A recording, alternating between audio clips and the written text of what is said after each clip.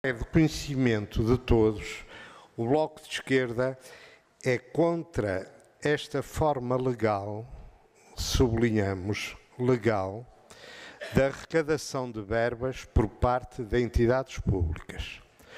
Porque os resultados do investimento, que se espera generoso, está dependente do poder financeiro e da especulação imobiliária.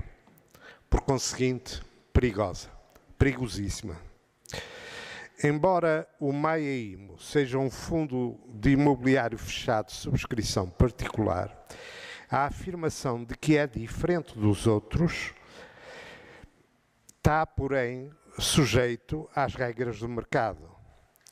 Não é certo que a avaliação dos ativos no momento da sua constituição corresponda, até hoje, ao mesmo valor.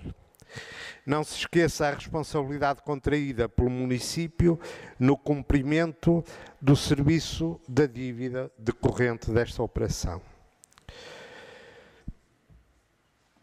Passaram 10 anos após as altas expectativas do Executivo Camarário, quando este fundo foi apresentado a esta Assembleia. Quando questionado pela oposição dos maus resultados acumulados,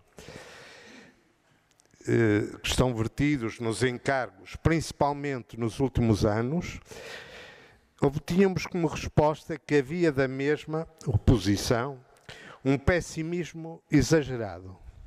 Mantemos esse pessimismo.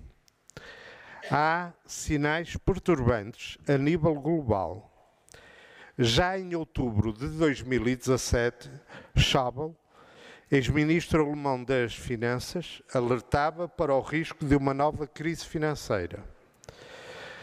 Recentemente, o 11 de setembro deste ano, os economistas Robini e Rosa afirmam num artigo publicado no Financial Times que está a fermentar uma nova crise financeira e recessão global. Citamos.